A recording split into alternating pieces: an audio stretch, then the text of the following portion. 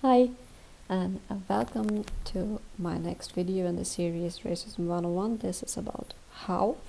So, we've le learned uh, the why of slavery, racism, and uh, colonization in the last video. Uh, now we want to talk about the how. So, during colonization, the European settlers were going around the globe and finding land. On the land that they found were indigenous people because of their technologically advanced weapons, they could easily fight and win against those people and force them out of their way. They chose to murder, enslave, rape, and torture them instead of finding a more peaceful solution. They decided to steal the land and to not adjust and assimilate to what they found. I say this for a reason that will become apparent later. Now, in possession of fertile land, they began the project of kidnapping and enslaving people from Africa and bringing them to America. They needed a workforce, an enslaved workforce, because this was the most economical, economical way of getting the most out of the new land. Uh, when they took those people from all over Africa, many died on the way to the coast.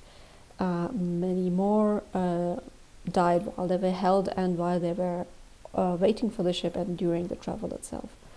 In the ship, those people were stacked on top of each other, living, dying, menstruating, defecating, urinating, and the same close quarters for weeks. Did you survive that? Congratulations. We will now separate you from your family, your children, your partner, the people you know, and sell you. On that plantation, you will be raped. Your children from that rape will be enslaved.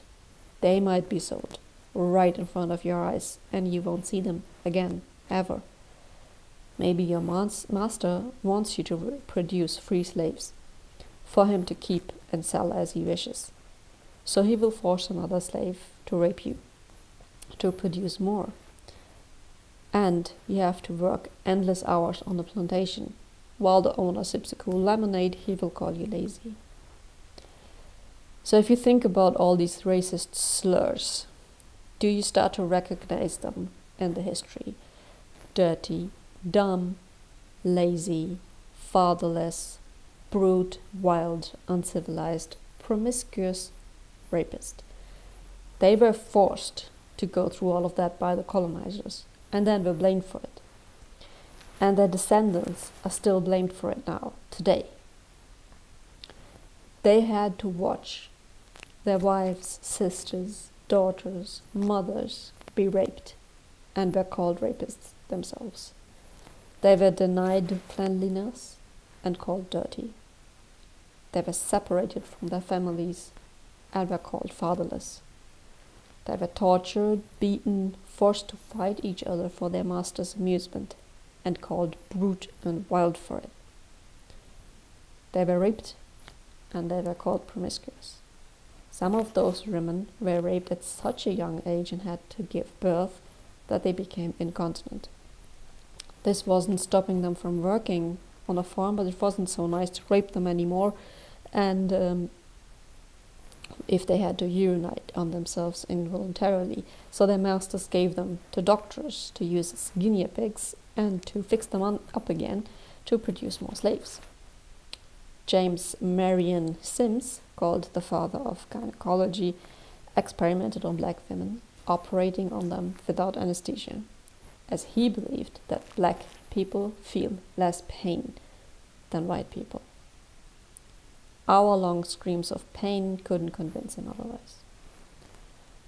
He also experimented on black children, killing many healthy black children in his attempt to heal them of their low intelligence. To do this, he would use an, an instrument to effectively break their skulls. All of his little patients died. One of the statues honoring him in Central Park, New York, was removed January 2018. So, what did the colonizers do to be able to act this way? And still be part of society. To be married, to have children, and perfectly pleasant neighbors and church going uh, citizens. They invented these characteristics for black people that made it okay to treat them this way. We've touched on a few of them now being dumb and promiscuous, uh, feeling less pain than white people. These things still play a role in society today. So, for example, even doctors will did I don't know if it's still today, but in the past, uh, still had that idea that black people would feel less pain. They take black people less seriously when they talk about their pain, and that can have deadly consequences.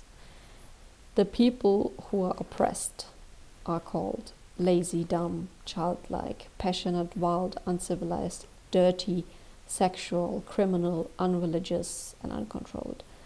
I want you to think about these adjectives. I want you to close your eyes and I want you to imagine what you see when I say these words lazy, dumb, childlike, passionate, wild, uncivilized, dirty, sexual, criminal, unreligious, uncontrolled.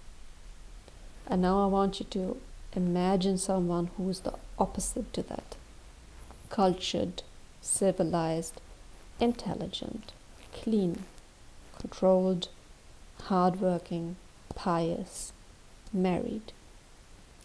Now, I don't want you to feel guilty. Really does not serve any purpose. Try to ignore it if you do feel it because it is important to stay open and stay focused. These same attributes had been used to describe Muslims, Irish, Catholic, Jews, Arabs, Asians, and also Native Americans and black people and natives of other countries.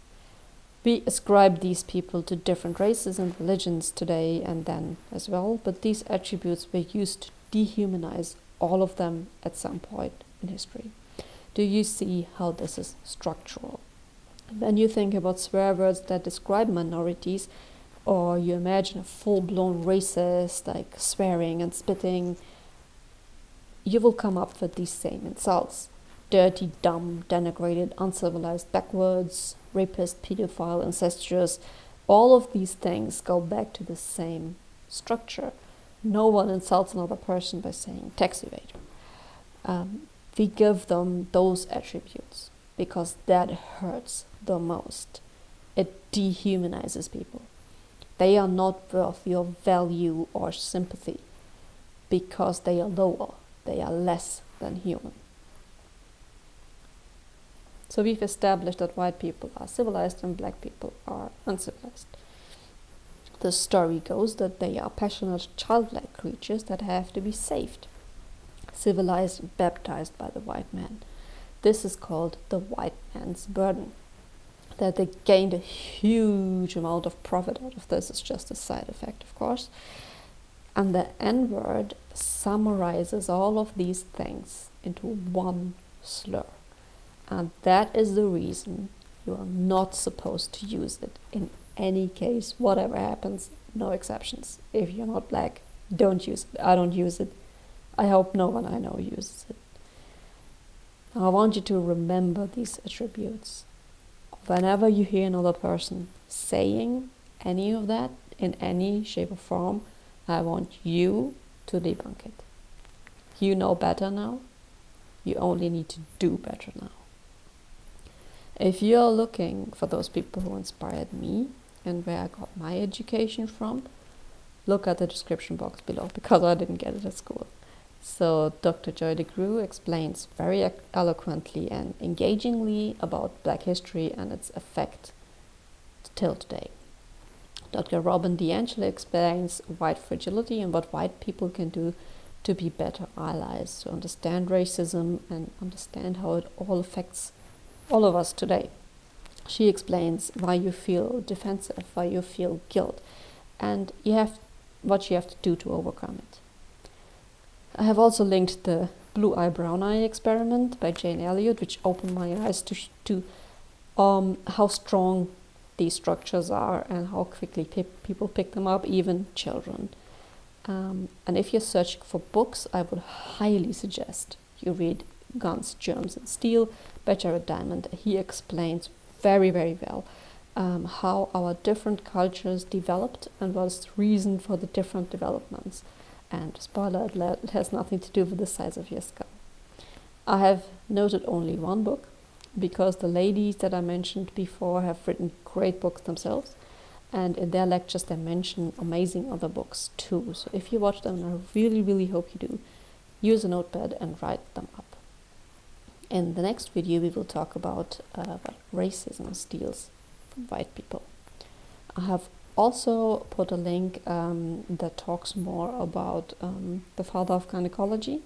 So you can also see where the other two um, statues are that are still standing of him and uh, just learn generally more about the history. So see you in the next video.